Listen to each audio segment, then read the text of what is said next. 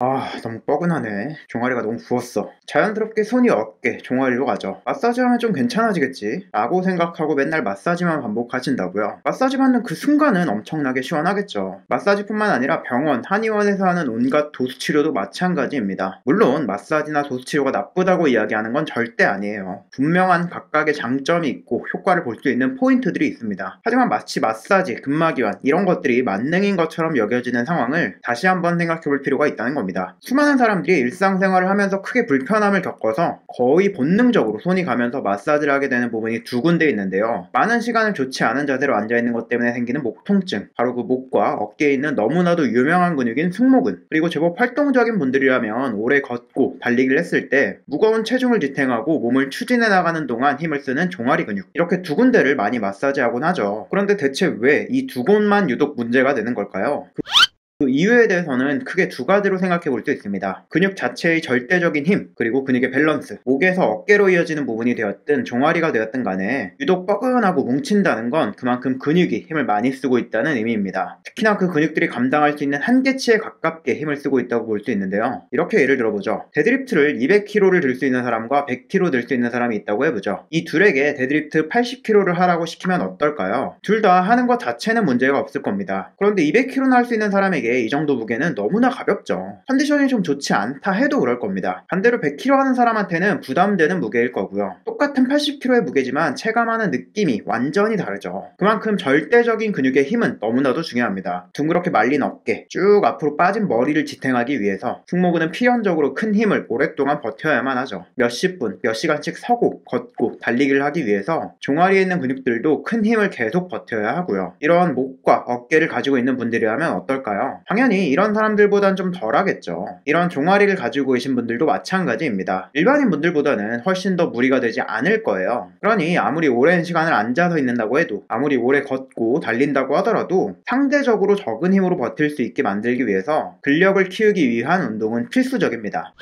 근데 운동을 열심히 하시는 분들, 소위 헬창인데도 비슷한 문제를 호소하는 분들이 많습니다. 운동을 너무 많이 해서 문제 있는 경우 말고도요. 단순히 근력을 넘어서서 또 생각해봐야 할 부분은 바로 밸런스인데요. 많은 사람들은 다 아는 사실이지만 우리 몸의 근육은 너무나도 많습니다. 대략 600개 정도의 근육들이 있다고 하는데요. 하체와 상체 근육처럼 그 역할이 명확하게 구분되는 것도 있고 등 근육이라고 뭉뚱그려서 이야기할 수 있지만 사실 근육의 모양과 기능을 자세하게 뜯어보면 닮은 점과 다른 점이 공존하는 하는 근육들도 상당히 많죠. 목과 어깨에 있는 근육들이나 종아리 근육들도 그렇습니다. 대표적으로 고통받는 게 승모근이긴 하지만 비슷하게 날개뼈에서 등, 목뼈로 이어지는 능형근, 견갑거근 같은 근육들도 있고요. 승모근이 시작하는 부분인 날개뼈를 잡아주는 전거근 같은 근육도 중요하죠. 이런 각각의 근육 밸런스가 제대로 맞았을 때 비로소 승모근이 제대로 일을 할 수 있습니다. 근육 밸런스가 제대로 맞지 않는다면 차 떼고 포 떼고 장기 두는 거나 마찬가지입니다. 오랜 시간 동안 무거운 어깨와 목을 드느라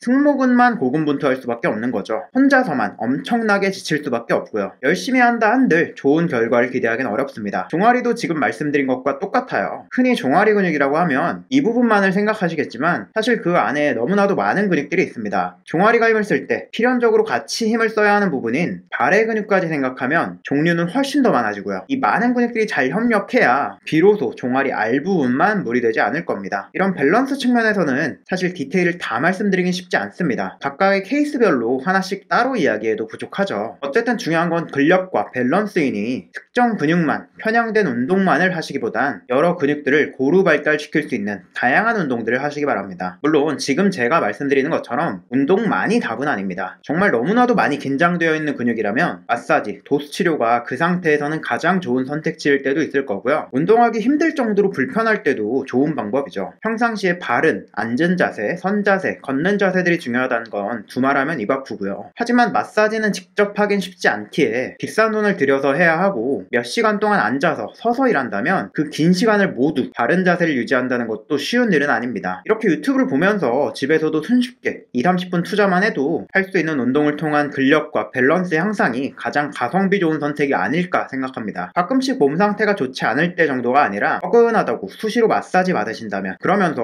운동도 하지 않으셨다면 지금부터 간단한 운동을 조금씩이라도 해보시면 어떨까요?